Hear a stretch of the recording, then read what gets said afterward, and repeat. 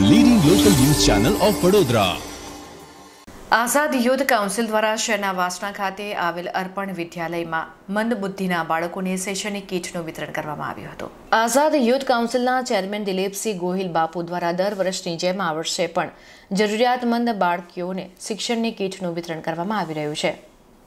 તેઓ દ્વારા ખૂબ જ સરાહનીય કામગીરી કરવામાં આવી રહી છે.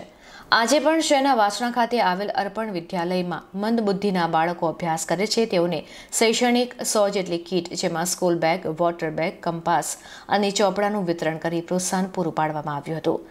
ત્યાં હાજર બાળકોમાં પણ ખુશી જોવા મળી હતી. અર્પણ વિદ્યાલયના તમામ સ્ટાફે આઝાદ યુથ કાઉન્સિલના ચેરમેન દિલીપસિંહ ગોહિલ બાપુ તથા તેમની સમગ્ર ટીમનો આભાર વ્યક્ત કર્યો હતો. આજે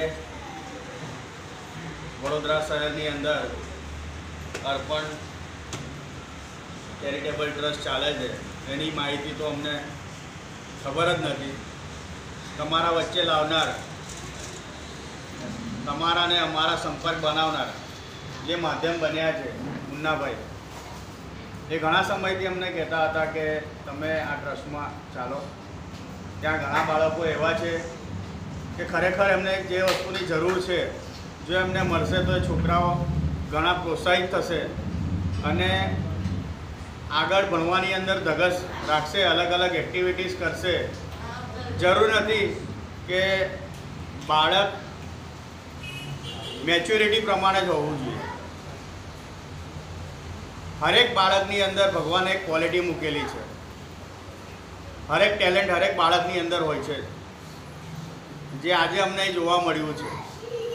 ભલે ચેરી, અર્પણ ચેરિટેબલ ટ્રસ્ટની અંદર જે આજે બાળકો ભણી રહ્યા છે, જે એક્ટિવિટીઝ કરી રહ્યા છે, એ જે એમની એક્ટિવિટીઝ છે અને જે એમનામાં ગટ્સ છે, એવા નોર્મલ બાળકોની અંદર પણ નથી હોતા, જે આજે અમને અહીંયા જોવા મળ્યા છે.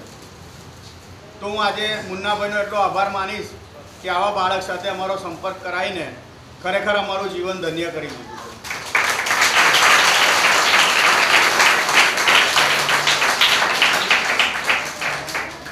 અર્પણ ચેરિટેબલ ટ્રસ્ટના ટ્રસ્ટીઓ તથા શિક્ષક વર્ગોનો તમામ લોકોનો આભાર માનું છું કે એ લોકો ખરેખર આવા બાળકોને આગળ વધારવામાં એમનો મહત્ત્વનો ફાળો છે. બસ, આટલી વાતને હું કહીને પૂર્ણ વિરામ કરીશ